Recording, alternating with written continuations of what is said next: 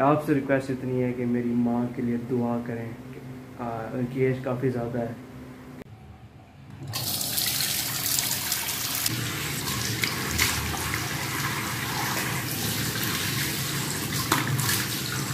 तो फाइनली चेहरा कुछ बेहतर हो गया मुँह धोने के बाद।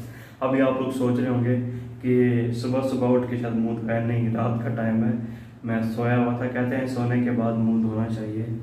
आ, उसकी भी साइंटिफिक भी वजूहत है वो कभी बताऊँगा टाइम मिला तो। फ़िलहाल मैं खाना खाने जाना है रात का खाना डिनर तो वो चलते हैं। बाकी आपसे डिस्कशन होती रहेगी कि छोटा सा ब्लॉग है आप भी कहेंगे कि यार इसके क्या अच्छे छोटे ब्लॉग बना रहे हैं। लेकिन यार अभी यार मैं देख रहा हूँ कि मेरी ऑडियंस इतनी नहीं है तो इतने बड़े बड़े और ब्लॉग्स बनाने का कोई फ़ायदा भी नहीं है। छोटा मोटा आपको अपनी लाइफ पे अपडेट अभी देता हूँ। जब आप ऐसे ऐसे मेरे साथ जुड़ते रहेंगे तो इंशाल्लाह बहुत अच्छे अच्छे आपको मिला करेंगे।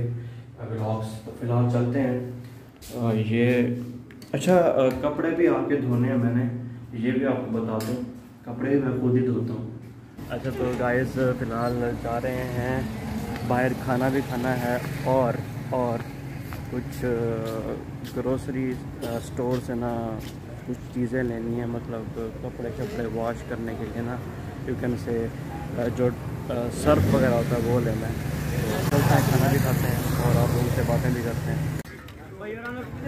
उस्ताद तीन रोटियाँ दे दो। चल यार निकले। आ गया था भाई।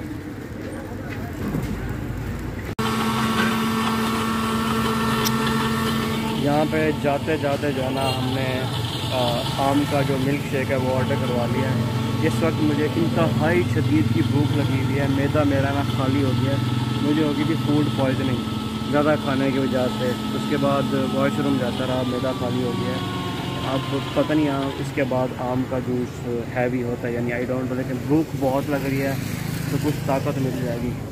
तो यहाँ पे देखें ताज़ा ताज़ा भाई गिलास गिलास बना रहे हैं। चल तू यूट्यूब पे आ गया। हाँ भाई आप यूट्यूब पे आ गए और उठाओ भाई अपना। आ जाओ भाई व्यूवर्स आपने भी पीना है तो आपके लिए हाजिर है गिलास। ये देखिए। सो so, दोस्तों खाना अभी ऐसे ही खाना पड़ेगा हमारे पास प्लेट वगैरह नहीं है। चल चल के बुरा हाल हो गया सब मेरा पसीना का लेवल देखो। घर से दूर माँ बाप से दूर। और माँ बाप का होना, फैमिली का होना नेमत है, ये हालात। देखो, यहाँ प्लेट भी नहीं है अब। इसी शापर के अंदर ही खोल के खाना पड़ेगा। गुड मॉर्निंग दोस्तों। सुबह बखैर, रात सो गया था खाना खाने के बाद, अभी उठाऊँ। तो रात का खाना मैंने बचा लिया था, एक रोटी। इसमें पड़ी है, आप लोग कहते होंगे, रोटी भी कोई फ्रिज में रखता है तो कहाँ रखें? चूटियाँ आ जाती हैं यहाँ पर रखने की, जगह नहीं है हॉस्टल लाइफ में।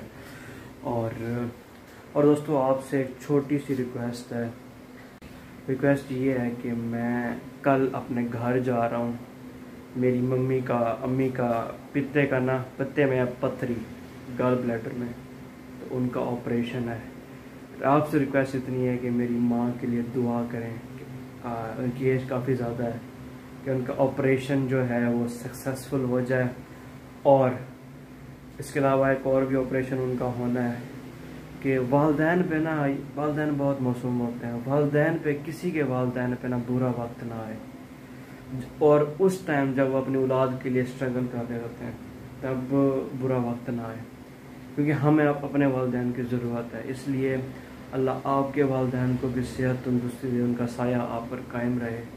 और दुआ करना मेरी अम्मी के लिए। खसूस आज का व्लॉग मैंने इसलिए बनाया है ताकि मैं अपनी अम्मी के लिए दुआ करवा सकूँ, ताकि जो भी ऑडियंस मुझे देखती है कि उनका ऑपरेशन पथरी वाला जो ऑपरेशन होना है, वो ठीक हो जाए और वो सक्सेसफुल हो।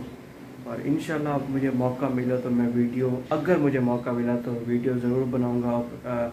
ऑपरेशन की नहीं बना सकता, लेकिन हॉस्पिटल्स की जो भी होता है रूटीन डेली बहरल बहर खाना खाते हैं और कपड़े मैंने धोने तो ये निकालते हैं। रोटी इस वक्त ठंडी ठार हुई पड़ी है।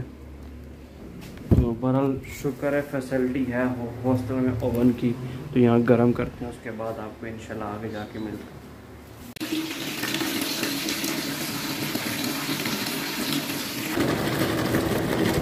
जो है ना, मैंने थोड़ा सा ज़्यादा डाला क्योंकि पैंटें हैं जीन्स की और ये देखो ये शर्ट भी काफ़ी मोटी है।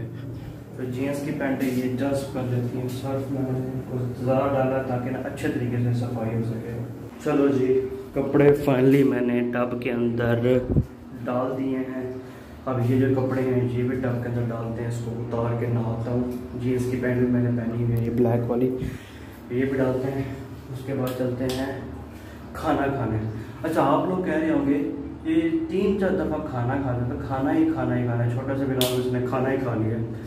ये दो दिन का बिलॉग है। मैं बीमार हो गया था फ़ूड पॉइजनिंग हो गई थी, मैं रात सो गया था। और मेरी आज पूरा दिन मैं भूखा सोया रहा हूँ। दो दिन का बिलॉग आपको दिखा रहा हूँ और कल मेरी घर वापसी है। तो दोस्तों, भाई आपका नहा के आ चुका है। इस वक्त आप मुझे देख रहे होंगे, ज़्यादा प्यारा लग रहा हूँ। ऐसे है ना, भाई सौ, सवा सौ की चक्की है, साबुन की वो लगाई है, मुँह पे कुछ तो फ़र्क पड़ेगा ना।